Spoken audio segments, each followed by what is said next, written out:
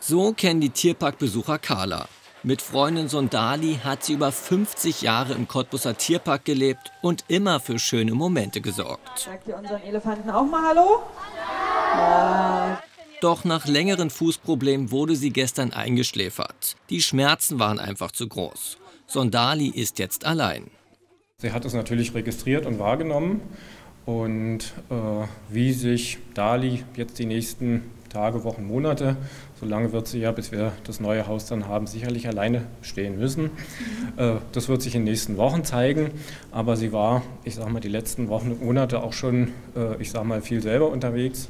Und natürlich sind jetzt auch die Tierflieger ge zusätzlich gefragt, äh, mit Futterangeboten und anderen Beschäftigungen, ich sage mal, Dali bei Laune zu halten. Bis es Zuwachs gibt, dauert es also noch etwas. Was bleibt, sind aber die Erinnerungen. Vor allem Carlas und Sondalis Bad in der Spree werden die Cottbusser nie vergessen.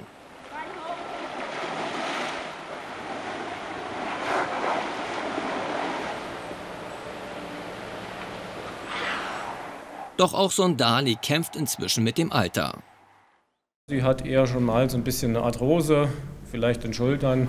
Äh er fällt es eigentlich eher dann mal etwas schwerer, mal aufzustehen, wo Carla äh, bis zuletzt äh, auch ein, ein, sehr gelenkiger Elefant war. Also sie hat auch äh, bis zuletzt immer wieder draußen geschlafen und geruht.